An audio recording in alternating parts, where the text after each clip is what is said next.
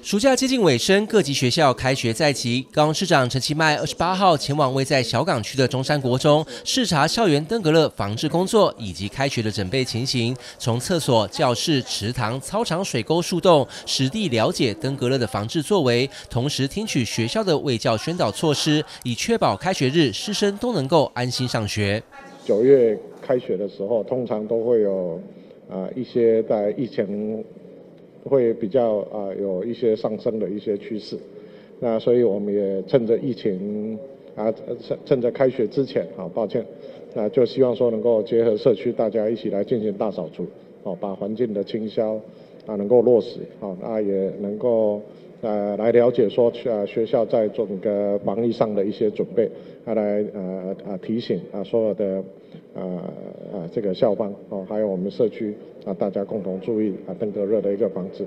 高雄市的登革热本土案例截至二十八日累计一百零九例，其中因为小港前镇一带的移工多，加上拥有机场以及港口的场域，所以境外移入的风险较高。不过在大家的努力之下，目前还在控制的范围里。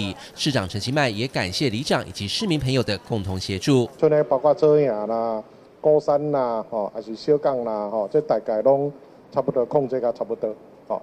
啊，这毋是欺负狗啦，实在是咱大家市民吼，大家正合作。哦，啊，大清消、大扫荡的时阵，大家拢正配合。哦，啊，种疫情了来往来的人有够侪出入去越南、去泰国，啊，这哦，啊，这来来去去、来来去去的人有够侪。哦，啊，所以造成防疫上，咱来较辛苦一个啦，吼。啊，所以我有那个甲咱所有的里长，啊，还有咱的学校吼，诶，校长吼，讲的讲的头头是道啦，吼。啊啊！但是要落实了啊啊！所以今天来就是那来来来看一下，来跟大家鼓励了哈，看缺什么啊，哪里啊需要资源的这个部分。